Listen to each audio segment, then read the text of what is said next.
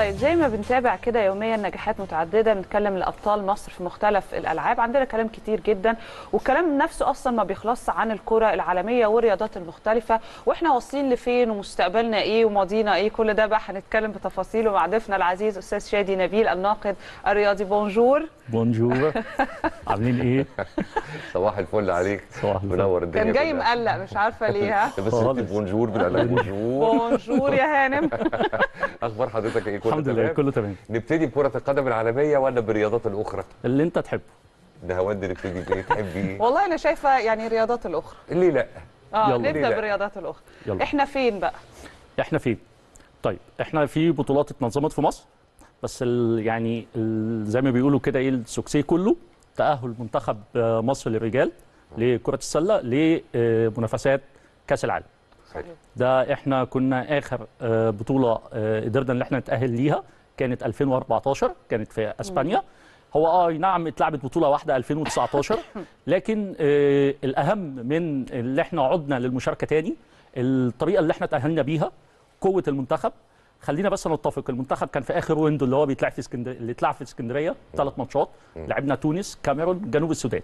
okay. آه، الفوز اللي إحنا حققناه على تونس في اليوم الأول هو ده اللي ضمن صعودنا خلاص لنهائيات المفروض معلش كأس ممكن العالم. تفكرنا ال score كان كام وقتها؟ 71 63 آه، okay. 61 67 هو لصالح تونس منتخب مصر عموما أتقل نسبيا من الفرقتين التانيين آه. كده كانت البداية كويسة ولا إيه؟ خلينا نتفق. تونس بطل أفريقيا. بمعنى آخر كأس أمم أو بطولة أفريقيا تونس هي البطل. طب. لكن الوحش القادم لكرة السلة الأفريقية جنوب السودان. منتخب. جنوب السودان ما خسرش غير ماتش واحد في التصفيات كلها. آه، منتخب قوي جدا ده الجيل الحالي ده الجيل الحالي هي دي المشاركة الأولى يعني إحنا عارفين السودان كانت مش سودان بيتردد في أي بطولات قبل كده ما الحقيقة ده أول مشاركة ليهم بالظبط. يعني أول تواجد ليهم في التصفيات. آه، أول تأهل ليهم لكأس العالم آه، المنتخب جنوب بس السودان عمرنا ما سمعنا فعلا آه. آه لأن ما هو كانش في تقسيم مشاركة السودان آه، كان حدث بعد المشاركة الأخيرة أو بعد بطولة وبعد العالم الأحداث الأخيرة. السياسية ما كانش أصلا يعني بالظبط. عندهم فكر إن هم. يشاركوا. بالظبط آه الأهم زي ما بقول لحضراتكم من التأهل الطريقة قوة المنتخب قدرتنا على آه تقديم مستوى جيد. لما كسبنا تونس طبعا الفرحة طغت على صحيح. ماتشين آه كاميرون. اديتك حافز حلو جدا كمان بعد كده. دايما بتبقى الضربة أو مش هقول ضربة البداية اللي هي بتبقى الضربة القوية على منافس قوي بيدي دفعة كبيرة يمكن كمان. طبعا إحنا كسبنا تونس ذهابا وايابا كده. وتقريبا إحنا كسبنا تونس في ال window اللي قبل اللي فات ده. كنا في تونس كان بيتلعب في تونس. wow. كسبناهم في تونس. فدي كان حدث عالمي. معانا coach تقيل جدا. معانا squad كويس جدا. نتمنى نتمنى إن آه، المحترفين وعلى رأسهم عبد الرحمن نادر نقدر نستعين بيه في آه، كأس العالم. كأس العالم هيتلعب في شهر 8 لأول مرة في ثلاث دول. هيتلعب في آه، أندونيسيا الفلبين آه. واليابان. وحدث أول مرة هيحصل برضو إن دولة مستضيفة مش هتلعب. يعني مش. هتلعب. يعني أندونيسيا هي البداية كانت إن الفلبين واليابان كسبوا الاستضافة. أوكي. فلما استعانوا بوجود إندونيسيا معاهم فلازم تلعب تصفيات ما قدرتش توصل عن طريق التصفيات فبالتالي هتستضيف البطولة فعلا بس مش. هتلعب. يعني دي أول مرة تحصل في تاريخ آه، كؤوس العالم لكرة السلة. تمام. طيب شادي تسمح لنا بس عشان هي زميلتنا مريم دلوقتي معانا live هنروح لها سريعا ونرجع طبعا, طبعاً. هنكمل. طبعاً. نروح نتابع أخبار النادي الأهلي زي ما إحنا متعودين يوميا ومراسلتنا النهارده هتكون معانا مريم سميح من مقر النادي الأهلي بالجزيرة. مريم bonjour عليكي طبعا. أنا وكريم وشادي سامعينك كل السادة دلوقتي المشاهدين. اتفضلي. صبح عليك يا نهاوند وصبح عليك يا كريم وصبح طبعا على ضيفكم العزيز الأستاذ شادي نبيل الناقد الرياضي وصبح على كل مشاهدي قناة الأهلي في كل مكان. يوم جديد وجولة جديدة من داخل مقر النادي الأهلي بالجزيرة. هيكون معانا فيها طبعا كل الأخبار المتعلقة بالنادي الأهلي طبعا سواء الفريق الأول لكرة القدم أو الفرق الرياضية الأخرى. طبعا البداية مع الفريق الأول لكرة القدم اللي أكيد طبعا بدون راحة بيستأنف تدريباته. النهارده المران إن شاء الله هيكون في تمام الساعة 4 عصرا التجمع هيكون في تمام الساعة الثالثة عصرا ثم يبدأ المران بقى في تمام الساعة الرابعة على ملعب مختار التتش. ده طبعا استعدادا لمباراة الداخلية اللي هتقام إن شاء الله غدا الثلاثاء في تمام الساعة 7 مساء على استاد الأهلي وإلسلام. طبعا زي ما إحنا عارفين المباراة دي هي المؤجلة طبعا في آه، الجولة العشرين. طبعا إن شاء الله بنتمنى للنادي الأهلي كل التوفيق. إن شاء الله النهارده يعني مدير الفني للنادي الأهلي مستر مارسيل كولر هيكون طبعا في محاضرة بتسبق المران. هيستعرض فيها كل النقاط الخاصة سواء القوة أو الضعف بطبعا فريق الداخلية. طبعا إحنا عارفين إن النادي الأهلي متصدر جدول الترتيب بدون أي خسارة خلال الفترة الماضية. وطبعا الحقيقة إن زي ما أنا قلت الحقيقة إن هو استأنف تدريباته بدون راحة سواء أمس طبعا التمرين كان في تمام الساعة الواحدة ظهرا والنهاردة هيكون في تمام الساعة الرابعة عصرا. ننتقل بقى لكل الألعاب الرياضية الأخرى. وطبعا أكيد يعني هنبدأ مع الماسترز ورجال طايرة الأهلي اللي هيكون في مباراة النهارده أكيد هامة جدا في دور الثمانيه في البطولة العربية. إن شاء الله هتكون المباراة في تمام الساعة الثامنة مساء. هتقام على صالة 2 بإستاد القاهرة. ده طبعا أمام نادي سواحلي الليبي. ده طبعا أكيد بعد ما رجال الماسترز قدروا إن هم يتصدروا مجموعتهم طبعا في دور المجموعات من البطولة العربية وحققوا الفوز في الخمس مباريات اللي خدوها طبعا يعني سواء أمام مصافي شمال العراقي خيبل اليمني آه، بني ياس الإماراتي وأخيرا الوكرة القطري. والحقيقة إن إحنا طبعا بنتمنى طبعا كل السلامة لعبد الحليم عبو لاعب آه، نادي الأهلي. أكيد اللي أصيب يعني أول أمس في مباراة الوكرة القطري بقطع في آه، الباي الحقيقة إن هو هيضطر أكيد لتدخل جراحي والحقيقة إحنا نتمنى له كل التوفيق لأن هو ساهم بشكل كبير جدا في هذه البطولة ولكن للأسف هيغيب خلال ال- يعني المواجهات المقبلة في البطولة العربية بالنسبة طبعا لاكيد كرة الطايرة رجال.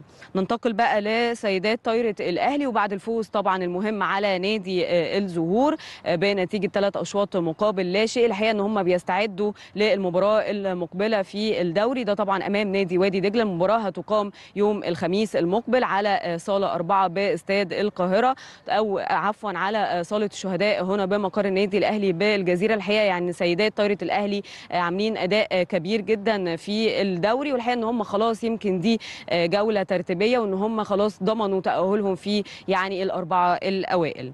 خلينا بقى نروح ل يعني سيدات سلة الأهلي. في مباراة النهارده هامة جدا للنادي الأهلي في تمام الساعة السادسة مساء. هتقام هنا في مقر النادي الأهلي بالجزيرة على آه، صالة الشهداء. المباراة طبعا أمام مصر للتأمين وده في ربع نهائي كأس مصر. بتمنى لهم كل التوفيق. وعايزه أنوه طبعا لمشاهدي آه، قناة الأهلي إن هتكون المباراة مذاعة على شاشة قناة النادي الأهلي. يقدروا طبعا يتابعوها النهارده.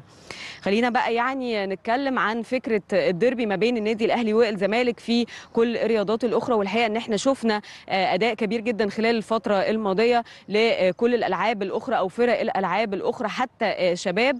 عايزين بقى نتكلم على فكرة الفوز على نادي الزمالك. الحقيقة إن إمبارح في مباراة آه، هامة جدا لبنات يد الأهلي. طبعا أو يعني شابات يد الأهلي 2006 ألف قدروا إن هم يحققوا فوز مهم جدا على نادي الزمالك بنتيجة 38 29 ده طبعا في تصفيات الدوري آه، المرتبط.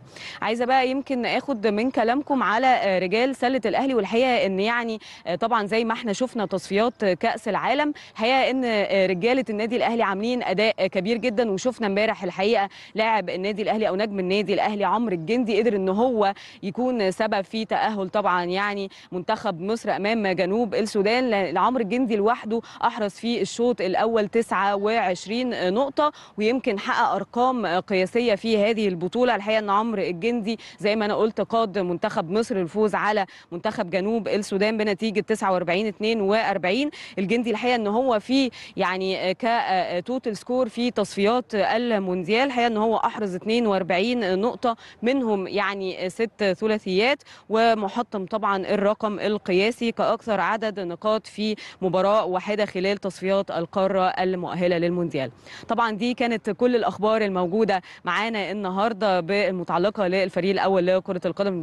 بنتمنى له كل التوفيق طبعا غدا في مباراته أمام الداخلية وأيضا كل الأخبار المتعلقة بالرياضات الأخرى. بشكركم جدا. الكلمة لكم مرة أخرى. إحنا كمان بنشكرك أكيد على هذه التغطية الرائعة. كالعادة يا مريم شكرا ليكي أخبارها حلوة اللي قالتها لنا كلها الحقيقة. آه. وبعدين طبعا. شايفين علامات الاستحسان وبالذات لما ابتدت تتكلم عن عمرو الجندي في طبعا. استحسان ملموس اترسم على طبعا. على ملامح وشك وهي بتتكلم. لأن الجندي آه، حاجة حالة آه، ما شاء الله الله أكبر عليه. يعني من هو ناشئ مع منتخبات مصر الناشئين في وجوده في نادي الجزيرة انتقاله للنادي الأهلي. آه، حد بيلعب بقلب وبروح. ما شاء الله. امبارح آه، ما شاء الله الله أكبر. هو لوحده جاب أكتر من نص ال score اللي أداء. أسطوري أداء أسطوري. يعني record آه، أعتقد هيبقى صعب على أي لاعب مصري يكسره. يعني 42 نقطة في ماتش واحد.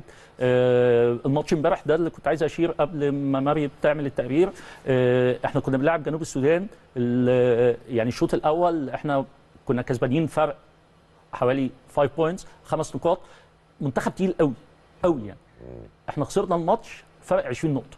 هو إزاي منتخب تقيل زي ما أنت بتقول دلوقتي لسه يعني تم إنشاؤه مش غريبة عشان هم؟ لأ هم already كانوا بيلعبوا في الدوريات اللي بره ولما اتفصلت بقى السودان عن الجنوب. ابتدوا بقى الجنوب وابت... فابتدوا يجمعوا أيوه الدوريات اللي بره اللي هي إيه؟ الدوريات الأوروبية والدو... وال... مش في ال NBA في الدوريات ال level اللي هو 2 أقل شوية. أقل من الام بي كان اي مستواهم بس يعني جيد يعني يعني مستواهم مختلفين. في نهاية الأمر آه آه أيوة وفيهم على. فكرة فيهم عدد كبير جدا المدرب بتاعهم بتاعهم كان بيقيم في اسكندرية كان عايش في اسكندرية وكان بيلعب في ملاعب اسكندرية وكان مقيم في منطقة الإبراهيمية. ف يعني فبالتالي ومعظم اللعيبه بس هم مستواهم قوي. آه، فرقه ما خسرتش غير ماتش واحد طول التصفيات. آه، يعني كان مفاجأة والعامل الجسماني ممكن يبقى برضو طبعا آه، طبعا. خ... إحنا برضو أمس إحنا كنا يعني غايب عننا عاصم مرعي والبوب إيهاب أمين وأنس أسامة. ثلاث عناصر تقيلة برضو. يعني ف...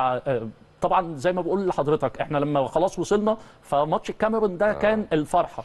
ماتش جنوب السودان أنا كنت أتمنى آه، يعني نختم التصفيات بالفوز عليهم آه، لكن لو كنا كاملين squad كامل كان في إمكانية ده يحصل. اتفضل. طيب كنت لا كنت هقول لك يعني مستنيك تخلص كلامك وننتقل بقى للبطولة العربية لل- للكرة الطايرة. وبصفة خاصة لأن النادي الأهلي ماشي فيها الحمد لله بخطوات يت- يتقال عليها جيدة حتى الآن.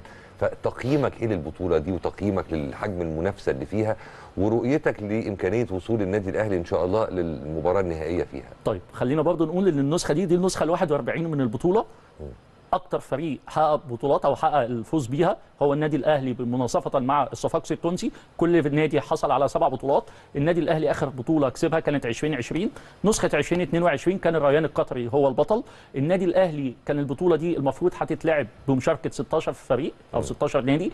آه، طبعا في أربعة انسحبوا وعلى رأسهم نادي الزمالك لعدم وجود تدعيمات ونظرا للأحداث اللي حصلت برحيل آه، كابتن شريف الشمرلي قبل نهائي السوبر. قبل نهائي ونهائي أيوة. كاس السوبر وطبعا ال season زي ما إحنا كنا اتكلمنا في حلقات قبل كده النادي الأهلي لعب نادي الزمالك على مستوى آه، كرة الطايره رجال تقريبا خمس ماتشات خمسة فوز للنادي الأهلي. فريق كويتي كمان أظن الكويت الكويتي انسحب كويتي كويتي والفريق والأهلي طرابلس. وفريق آه، الفلسطيني هو أربعة. الكويت الفلسطينية. الزمالك كويتي كويتي أهلي طرابلس الليبي إيه الكويت الفلسطيني. أيوة. فبالتالي عدد الفرق أقل فبدل ما كانوا أربع مجموعات اتلعبوا مجموعتين. النادي الأهلي في المجموعة الثانية حقق خمس انتصارات زي ما مريم أوضحت. النهارده إن شاء الله هيبقى دور ربع النهائي. الاهلي والسواحل الليبي ان شاء الله ما عندناش اي شك. الخمس ماتشات النادي الاهلي خسر شوط واحد يعني كل الماتشات 3-0 ما عدا ماتش مطمئن جدا. الواقع القطري. آه، حابب أقول آه، طبعا يعني قوة البطولات العربية والإفريقية بتزيد بتواجد الأندية التونسية عشان أكيد، نكون صراحة عدم وجود الأندية التونسية بتعمل حاجتين. بتسهل وتصعب. بتسهل الدنيا بتبقى أسهل شوية. بتصعب اللي أنت ما فيش ما ينفعش ما تكسبش. للأندية المصرية. أنا بتكلم عن الأندية أيوة المصرية. طبعاً. لكن وجود الأندية القطرية مع محترفين هيخلي البطولة برضو كل ما بتقل تقرب للأدوار قبل النهائي. والنهائي. لأن النادي الأهلي إن شاء الله بعد الفوز اليوم إن شاء الله والمتوقع بنسبة كبيرة هيلاعب الفائز من الأهلي القطري وسيب العماني بنسبة كبيرة برضه. هيبقى الأهلي القطري. فبرضه آه، مباراة نصف النهائي هتبقى قوية. آه، طبعا آه، مستوى النادي الأهلي بوجود يندر الليبرو اللي هو يعني على ذكر. إيه ده؟ ده جايبين ليبرو محترف. آه نجيب محترف في مركز نجيب الليبرو حقنا آه. عشان آه، بيعمل آه، حاجة مهمة جدا. بس الكلمة دي اتقالت من ما نجيبش ليه يعني؟ حد زعلان آه يعني. يعني آه حد- آه لأن ده كان comment يعني. ما أنا هقول لحضرتك ال comment كان بيتقال من حد معين في نقطة إن النادي الأهلي أنت لو هتجيب لعيب محترف ما تجيبوش في مركز الليبرو. تجيبه في مركز يعني مركز اثنين أو مركز طب ما أربعة. تيجي تلعب مكاننا بقى. يعني ده الرد بصراحة. طب أنا عايزه أقول لك على حاجة برضو نقطة مهمة. اتفضل. لأن الوقت بيجري. آه، بطولة العالم لسلاح الشيش اللي طبعا. كانت في مصر واللي اختتمت تقريبا من يومين. آه، إحنا ما حققناش آه، يعني صح؟ المنتظر. آه يعني نعم؟ يعني ما حققناش المنتظر أو المرجو آه ما حققناش المنتظر هو بصراحة طبعاً- رغم إن هي عندنا وعلى أرضنا وكنا شايفين يعني آه، المنتخبات بتاعت الشباب لسلاح الشيش بنات ورجال آه، كانوا متألقين جدا. لكن تيجي تتكلم عن بطولة العالم إحنا لم نحقق المرجو. آه، وده مش مبشر. خلي بقى- أنا معلش أنا بحب الصراحة تمام. ليه الاولمبياد يعني إذا كنت أنا في طيب. بطولة العالم يعني ولا أنا بتكلم غلط؟ لا لا هو طبعا كلامك صح بس حابب أوضح حاجة. اتفضل. إن آه، ألعاب الخماسي والسلاح تحديدا والرماية برضو على مدار السيزون بيبقى في حاجة اسمها كؤوس العالم. دي بتبقى سلسلة بطولات. يعني بدل ما تتلعب بطولات دولية مسمينها كأس عالم. فسلسلة كؤوس العالم دي بتبقى حاجات استعدادية لبطولة العالم اللي هي الحدث الأكبر. آه كأس العالم اللي كان لسلاح الشيش اللي اتلعب قطة في مصر آه كان في حدث مهم قوي. إن دايما بطولات كؤوس العالم في كل يعني الثلاث أسلحة كانت بتتلعب رجال لوحدها وسيدات لوحدها سواء فردي أو فرق أو فردي أو فرق. لكن دي أول بطولة تتلعب سيدات ورجال في نفس الوقت في نفس البطولة في نفس المكان. فبالتالي دي عاملة حدث عشان كتجربة للاتحاد الدولي يشوف البطولة عشان تقلل التكاليف. آه المنتخب المصري زي ما إحنا عارفين إحنا آه علاء الدين أبو القاسم آه حقق المركز السادس في الفردي. طيب. هو علاء تصنيفه الرابع وكان حقق قبل كده برونزية في كأس عالم في آه، يعني ده يعتبر 11 تراجع نسبي. هي اللقطة آه، بنوصل ربع النهائي القرعة برضو بتيجي عاملة إزاي؟ هو لازم يكسر حد تقيل من الأربعة التقال فهو لاعب بطل فرنسا مع الأسف ما قدرش يكسب. منتخب مصر آه، الفرق للرجال قدرنا نحصل على المركز السابع. هو ده نفس المركز اللي إحنا ما هو بنحققه عشان كده أنا بقول لك أنا مش حاسة إن. يعني بغض النظر عن إن دي هتكون مجرد بطولات مؤهلة بعد كده البطوله الاساسيه كأس العالم بس أنا still واللي هي هتبقى مؤهلة بالتالي الأولمبياد أنا لازم أكون بنجح في دول وبحقق تطور. و rankings عشان أقول بعد كده إن الموضوع مبشر لكن so far أنا زعل بس هو القصة مش نقد القصة إن أنت آه، زعلان عشان أنت. نفسك في باريس 2024 نحقق اختلاف كبير جدا هي في عدد النقطة اللي أنا كنت هقول لك عليها هو مش نقد بس إحنا بنعرف أخطائنا عشان نشتغل عليها. نتمنى ده يكون بيحصل طبعا. ما هو ده اللي بيحصل فعلا من الاتحادات بتاع يعني اتحاد السلاح. انت شخصيا يا شادي أكتر منتخب يعني أنهي رياضة تحديدا اللي انت شايف إن المنتخب المصري فيها أو اللاعبين المصريين فيها لا عاملين شغل كويس؟ in general ولا في المطلق- الفترة الحالية؟ المطلق. في المطلق أنا شايف إن اتحاد ال basket شغال كويس. آه، اتحاد ال handball طبعا. شغال كويس. آه. آه عندي comments على آه شغل اتحاد الطايرة. لو جينا للألعاب الفردية أنا بالنسبة لي سلاح وخماسي. آه يأتي بعديهم آه في الفترة الحالية برضو الرماية شغالة. كان في برضو كأس عالم أيوة. لسه منتهي في مصر. آه رفع الأثقال. رفع الأثقال بس هي النقطة إن أنت محتاج ما يحصلش أي drop ودي أنا قلتها قبل كده. أي drop بمعنى ما يحصلش أي إيقاف تاني. لكن أنا عندي ثقة في كل أبطال طيب على رفع والنوع ده من الأمور يعني؟ نعم. اللي هي المنشطات آه والحاجات اللي زي كده. بالظبط بالظبط آه وطبعا بس على الذكر يعني أتمنى الشفاء طبعا للكابتن نهله رمضان بطلة مصر آه. والعالم. آه أتمنى لها كل الشفاء يعني. شفنا سيادة الوزير كان راح يزورها في طبعا. وتستاهل يعني تستاهل كل الدعم النفسي طبعاً. قبل المادي وقبل العلاجي. صحيح. آه كل يعني ربنا يكمل شفاء على خير. يا رب. آه فبرضه رفع الأثقال. آه دولت اللي أنا بثق اللي هم آه ممكن يحققوا حاجة في الأولمبيكس. آه في ألعاب تانية ش- بتشتغل.